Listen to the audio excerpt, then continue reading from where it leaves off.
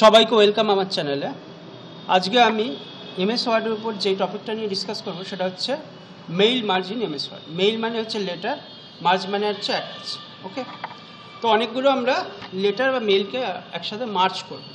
এতে আমাদের সুবিধা কি? এতে আমাদের টাইম এবং টাস্কটা রিডিউস হবে। অর্থাৎ আমি যদি একই মেল বডি অনেকজনকে পাঠাতে চাই মাল্টিপল পার্সনসকে পাঠাতে চাই, সেক্ষেত্রে আমাকে ওই লেটারটা বারবার লিখতে হবে। লেটারটা একবারই লিখব।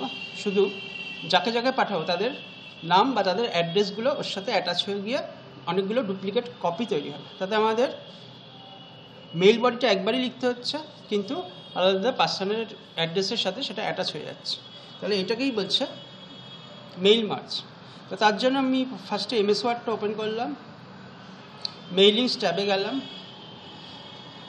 ক্লিক করলাম স্টার্ট মেইল মার্জ মেইল মার্জে স্টার্ট মেইল মার্জ এই অপশানটাতে ক্লিক করলাম। একদম লাস্টে আছে step by step mail merge wizard এখানে ক্লিক করলাম। এখানে কতগুলো অপশান দেখতে পাচ্ছি, ডান দিকে আমার একটা পেন এসছে, একটা সাইড বার এসছে, এখানে লেটার্স ইমেল মেসেজেস তো আমরা লেটার্সটাই সিলেক্ট করব। লেটার্সটা বাই ডিফল্ট সিলেক্ট করা আছে। আমি চলে যাব নিচে নেক্সট স্টার্টিং ডকুমেন্টটা এখানে। নেক্সট স্টার্টিং ডকুমেন্ট এখানে ক্লিক করলাম। ইউজ দ্য কারেন্ট ডকুমেন্ট এটাই ক্লিক করা থাকবে। নেক্সট সিলেক্ট রেসিপিয়েন্স টাইপে নিউ লিস্ট টাইপে নিউ লিস্টে ক্লিক করলাম। তারপরে ক্রিয়েটে ক্লিক করলাম। যাকে জায়গায় পাঠাবো তাদের টাইটেলটা দিলাম। দেখা যাক mister.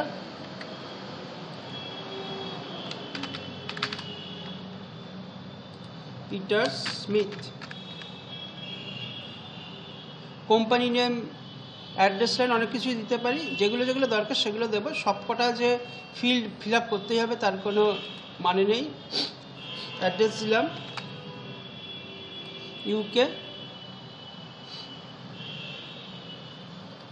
সিটি স্ট্রিট এগুলো কিছু দিচ্ছি না, ব্ল্যাঙ্কই রাখছি। আবার নিউ এন্ট্রি করলাম, আবার মিস্টার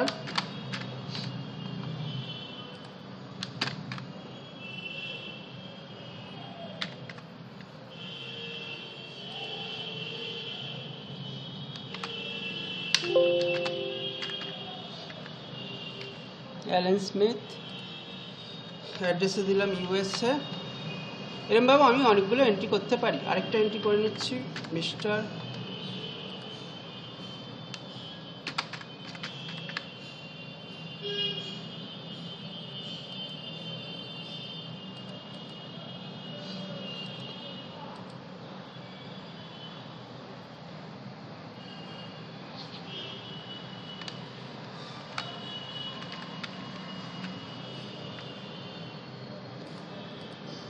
অ্যালবার্ট গোমস, এখানে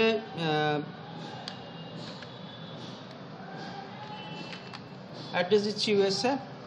তারপরে ওকে করলাম তিনজনকে আমি একটা লেটার বা মেল পাঠাবো, একটা লেটার পাঠাবো আর কি, ওকে করলাম এখানে মেল বলতে লেটার বোঝাচ্ছে, অর্থাৎ ইলেকট্রনিক মেল না ইমেল নয়, শুধুমাত্র মেল অর্থাৎ লেটার এখানে আমি যে রেসিপিয়েন্ট লিস্ট অর্থাৎ যাকে যাকে আমি লেটারটা সেন্ড করব, তাদের একটা লিস্ট তৈরি করলাম লিস্টের একটা নাম দিচ্ছি। ধরো যাক, আমি দিলাম রেসিপিয়েন্টস বলে নামটা দিয়ে দিলাম। যে কোনো নাম আমি দিতে পারি ফাইলের নাম। সেভ করলাম। এবার এখানে রেসিপিয়েন্স ডট এমডিবি চলে গেল। এমডিবি মানে মাইক্রোসফট ডেটাবেস ওকে এই ডেটাবেসটাকে সিলেক্ট করলাম, করে ওকে করলাম।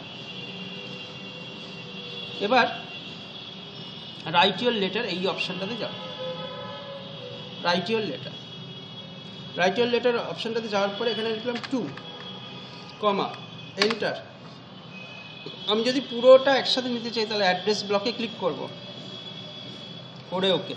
তাহলে অ্যাড্রেস ব্লক পুরোটা চলে আসবে। আর যদি সিঙ্গেল সিঙ্গেল মানে ফিল্ডগুলো, অর্থাৎ নেম অ্যাড্রেস এগুলো সিঙ্গেলভাবে নিতে চাই, পুরোটা একসাথে না নিয়ে, তাহলে এটাকে রেস করে এখান থেকে চলে যাব। Insert mail merge insert merge field insert merge ফিল্ডে গিয়ে ফার্স্ট নেম স্পেস দিলাম লাস্ট নেম তার আগে টাইটেলটা দিলাম। ফার্স্ট নেমের আগে টাইটেল এন্টার দিলাম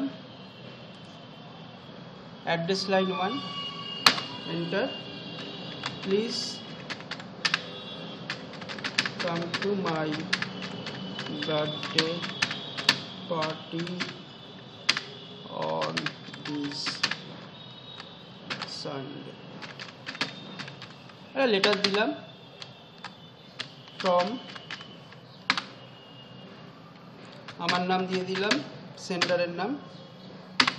কমপ্লিট হয়ে গেল, এবার চলে গেলাম এখানে, আবার রাইট সাইড বারটাতে প্রিভিউয়ার লেটার্স এই যে দেখাচ্ছে, এখানে recipient one recipient two recipient three যতগুলো থাকবে, ততগুলো দেখাবে। এখানে লেস দেন অর্থাৎ প্রিভিয়াসে এবং গ্রেটার দেন অর্থাৎ নেক্সট রেসিপিয়েন্টগুলো আমি দেখে নিচ্ছি, হয়ে গেল আমার তৈরি কমপ্লিট দ্য মার্জে ক্লিক করলাম। কমপ্লিট দ্য মার্জে ক্লিক করার পরে এডিট ইন্ডিভিজুয়াল লেটার্স এখানে।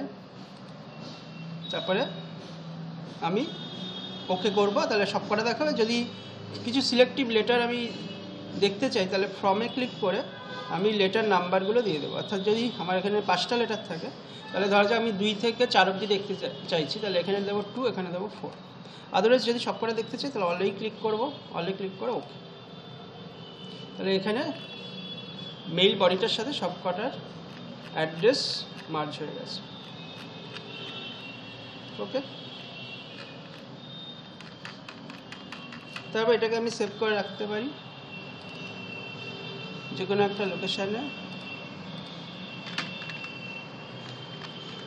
মেইল মার্জ দিয়ে নাম দিয়ে সেভ করে রাখলাম। অর্থাৎ ডকুমেন্টটাকে সেভ করে রাখলাম। তাহলে দেখা যাচ্ছে যে প্রত্যেকটা মেইল বডি প্রত্যেকটা আলাদা আলাদা অ্যাড্রেসের সাথে অ্যাটাচ বা মার্জ হয়ে গেছে।